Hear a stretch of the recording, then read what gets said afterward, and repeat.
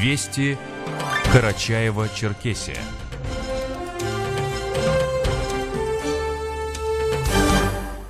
В студии с новостным блоком Рита Нерова. Здравствуйте. И вот что главное. К осени текущего года завершится ремонт Центрального парка станицы Сторожевой Зеленчукского района. Банк России ввел в обращение обновленную банкноту номиналом 100 рублей. Следственными органами Карачаевска завершено расследование уголовного дела в отношении брата и сестры Изаула Верхняя Тиберда, обвиняемых в убийстве своей матери. И с 5 июля в Черкеске стартует всенародная акция «Стоп амброзиям». Далее подробно. К осени этого года Центральный парк в станице Сторожевой Зеленчукского района существенно преобразится. Значительные изменения видны уже сегодня. Здесь появились беговые дорожки, спортивные тренажеры и лавочки, уложена тротуарная плитка и асфальтобетонное покрытие. Идет завершение строительства парковой зоны, после чего здесь будут установлены освещение и урны.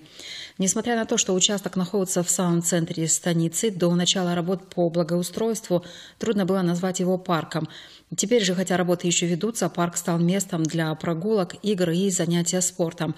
Здесь можно комфортно отдохнуть как детям, так и взрослым.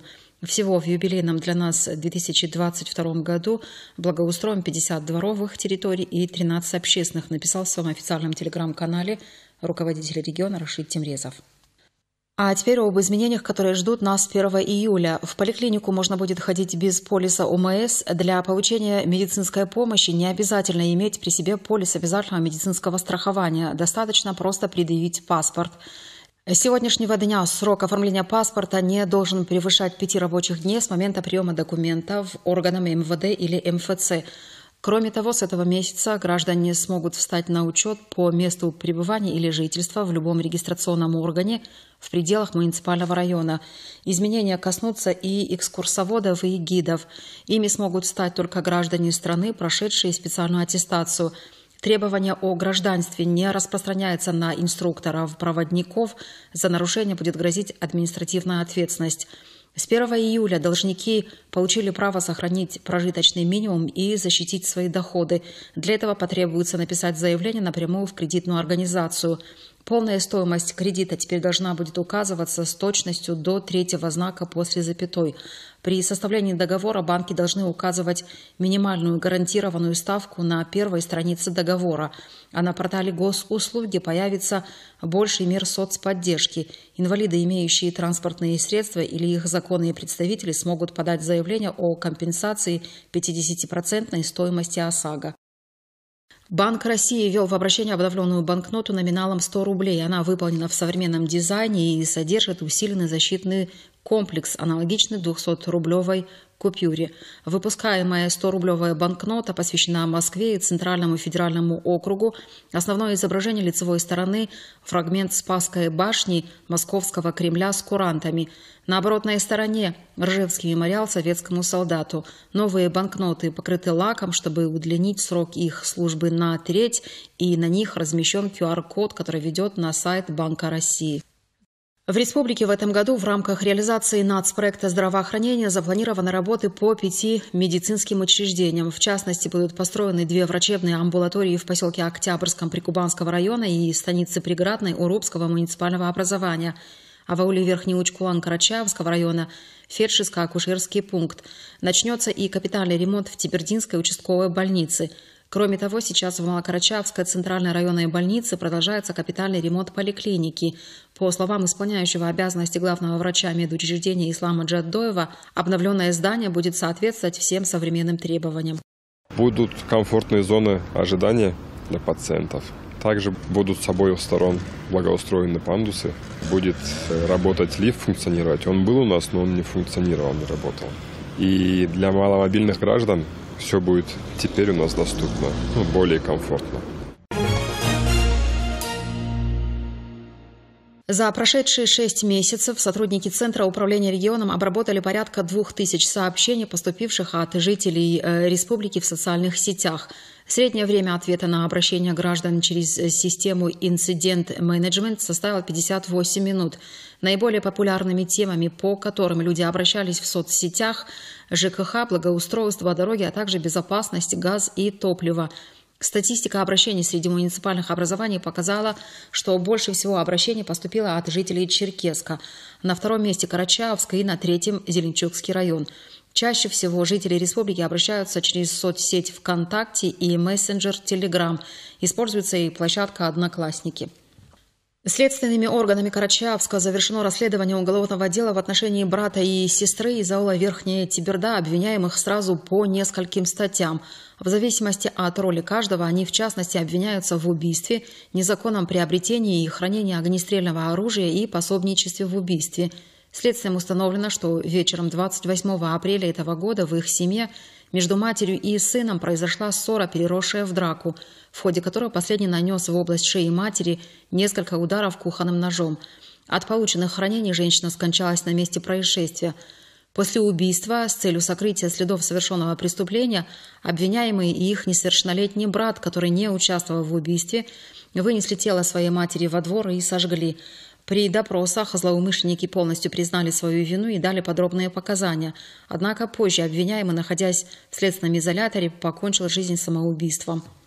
Передвижная мобильная клиентская служба отделения Пенсионного фонда России по республике в этом месяце продолжит свою работу. Напомним, во время ее визитов граждане могут решить свои вопросы в пределах собственного населенного пункта. Мобильный офис на колесах ориентирован прежде всего на тех, кто не имеет возможности прийти или приехать в офис Пенсионного фонда по состоянию здоровья или в силу возраста, а также на жителей отдаленных сел и поселков республики. Автомобиль оснащен всем необходимым а, в работе с гражданами. Здесь можно подать документы на перерасчет пенсии, на установление компенсационной выплаты, перехода с одного вида пенсии на другой, изменение способа выплаты пенсии и иных социальных выплат, установление единовременной денежной выплаты, оформление ухода и многое другое. Итак, с 5 по 8 июля мобильный офис побывает в Адыгихабльском районе, Черкеске, Прикубанском и Зеленчукском муниципальных образованиях соответственно. Далее 14 июля в Карачавском районе, 15 числа в Малокарачавском, 20 в Хабесском, 21 в Карачавске и 27 и 28 июля в Усть-Джигутинском и Урубском муниципальных районах соответственно. В Черкеске с 5 по 21 июля пройдет ручной сбор амброзии, являющейся сильным аллергеном. В этот период в городе будут работать три пункта приема карантина растительности. В каждом из них за одно вырванное с корнем растение высотой не менее 15 сантиметров можно будет получить 30 копеек. Палатки с соответствующим логотипом будут установлены около э, лицея номер 15 по улице Даватора, в районе городского дворца культуры по Гутякулова 2Б и на Первомайской 51 около здания ГТРК Карачаева-Черкесия. Они будут работать в будние дни с 15 до 17 часов. Последние два года из-за пандемии коронавируса ручной сбор амброзии в республиканской столице не проводился. Были организованы покосы и химическая обработка мест э, стихийного произрастания сорняка аллергена – в текущем году очаги карантинного растения, находящиеся за пределами жилого сектора, также будут обработаны специальными гербицидами. О сезоне активности клещей и их профилактики. По данным Федеральной службы по надзору в сфере защиты прав потребителей и благополучия регионального управления Роспотребнадзора в настоящее время обращаемость в медицинские организации, пострадавших от укусов клещей, не превышает средних многолетних значений. И, тем не менее, по прежнему период активности насекомых – на сегодняшний день официально зарегистрирован 171 случай укуса клещей, 63 из которых дети до 14 лет. Пострадавшие жители Черкесска, Прикубанского, Зеленчукского, Хабесского, Карачаевского, Нагайского, Малокарачаевского, Усть-Джигутинского, Адыгихабльского и Абазинского муниципальных образований. Республиканский Роспотребнадзор обращает внимание населения на необходимость э, соблюдения мер по профилактике э, присасывания клещей. Лето – щедрая пора овощей, фруктов, ягоды и зелени. В это время года мы можем получить макро- и микроэлементы и витамины. Однако при несоблюдении элементарных норм гигиены, а также неправильном мытье ягод, овощей, фруктов и зелени, мы рискуем заразиться кишечными инфекциями и гельминтозами. Тему продолжит пресс-секретарь Управления Роспотребнадзора Елена Покровская. В летний период вообще-то э, актуальные вопросы качества пищевых продуктов. И э, на первый план, конечно, становится безопасность пищевых продуктов. Именно поэтому мы всегда говорим о том, что в летний период нужно неукоснительно соблюдать правила личной гигиены. Это в первую очередь мытье рук, это мытье фруктов, это правильная работа с детьми, обучение детей основам гигиены. Э, очень актуально употреблять пищевые продукты гарантированного качества. Как мы уже сообщали, студентка Института филологии Карачаева-Черкесского госуниверситета имени Умара Алиева Алина Салпагарова стала победителем Всероссийского студенческого турнира Лукритив Бизнес Адиас. Организатор мероприятия Высшая школа социально-гуманитарных наук Российского экономического университета имени Плеханова. Целью конкурса является интеграция студенческого сообщества в глобальную социально-экономическую систему бизнес-среду, в которой конкурентное преимущество имеют специалисты, способные генерировать и воплощать в жизнь оригинальные креативные идеи – на очном этапе конкурса участники представили проекты уникального продукта, собственного изобретения или перспективной бизнес-идеи. Алина представила проект, который был посвящен экологичным автомобилям. Она предложила использовать процесс э, пиролиза для превращения отходов жизнедеятельности человека в энергию для автомобиля. Это, в принципе, обычная машина. Любой вид транспорта, неважно, легковая машина, самолеты, возможно, даже ракеты в будущем. Выглядят они обычно, просто единственное отличие в том, что в них встроено вот это вот приспособление, которое помогает, собственно, и перерабатывать э, любой вид пластика в топливо. То есть процесс называется пиролиз.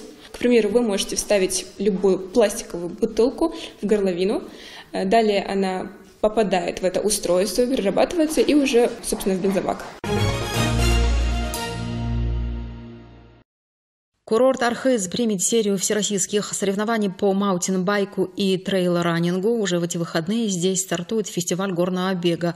Различные состязания запланированы на август и сентябрь, рассказала пресс-секретарь акционерного общества «Кавказ РФ» Татьяна Поздеева. В течение лета курорт Архыз примет несколько всероссийских соревнований по горному бегу и маунтинбайку.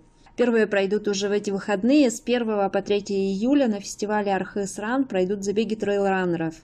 Приглашаем всех присоединиться к большому спортивному празднику. Ожидаем больше тысячи участников. И по опыту прошлого года могу сказать, что должно быть зрелищно и атмосферно. Дистанции пройдут по южному склону курорта и через массив горы София, через ее водопады, озера и в том числе одна дистанция подготовлена по территории Тибердинского парка. Осенью пройдет еще одна серия забегов с 23 по 25 сентября. Там спортсменов будут ждать тропы по южным склонам хребта Бешарахуба и горные озера в его северной части. А в августе курорт примет чемпионат и Кубок России по маунтинбайку. Архыз соберет сильнейших спортсменов страны в дисциплине скоростной спуск.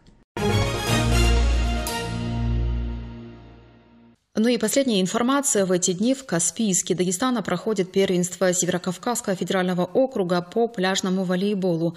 Нашу республику представляют две пары девушек в двух возрастных категориях. Пара 2008 года рождения Мадина Дышекова и Алена Криштофович а, прошла весь турнир без поражений и стала золотым призером, тем самым обеспечив себе путевку на финал первенства России, который состоится в августе этого года в Анапе. Второй паре только предстоят игры. Радио России, Карачаево-Черкесия, погода. По сообщению синоптиков Республиканского гидрометеоцентра, завтра по Карачаево-Черкесии ожидается переменная облачность, местами кратковременный дождь, гроза, ветер северной четверти 5-10 метров в секунду, днем порывы до 11-14 метров.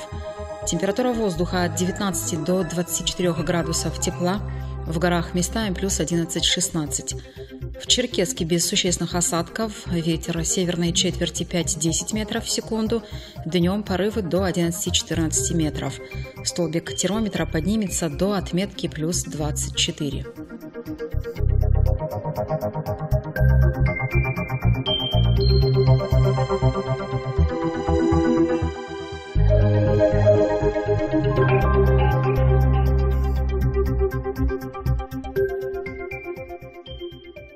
Таковы некоторые события республики. Информационный выпуск провела Рита Нирова.